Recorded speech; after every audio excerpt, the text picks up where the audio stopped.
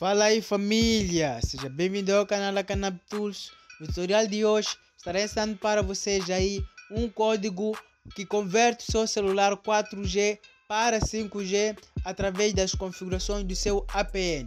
Então fica aí comigo e bora pro vídeo.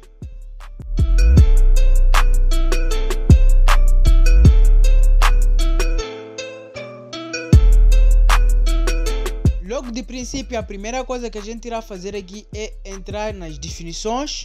É, após entrar nas definições, você vem em rede e internet. Após abrir redes e internet, você abre o rede móvel, né? Yeah. Após abrir o rede móvel, nos avançados, no menu avançado, né?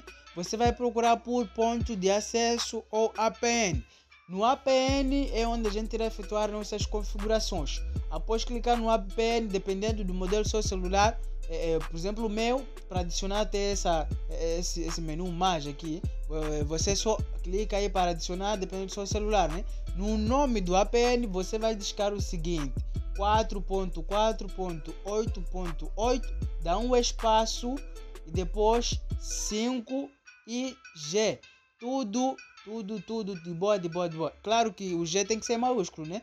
No tipo de APN, você vai repetir exatamente o 4.4.8.8 espaço 5G espaço NOT espaço 4G. Ou seja, negamos o 4G e aceitamos o 5G. De referir que tu tem que estar maiúsculo, né? No servidor, no servidor você coloca aí www.google.com.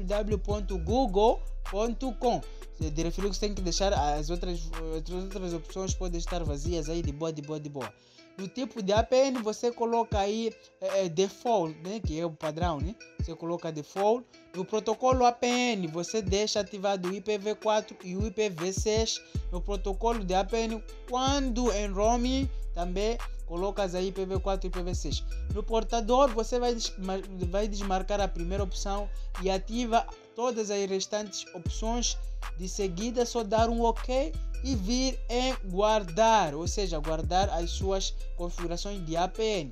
Feito isso, feito isso, é, é, o seu APN já está configurado, o seu celular já está configurado aí para correr em 5G. Yeah. Foi isso, espero que tenham gostado do vídeo, um vídeo breve aí de boa.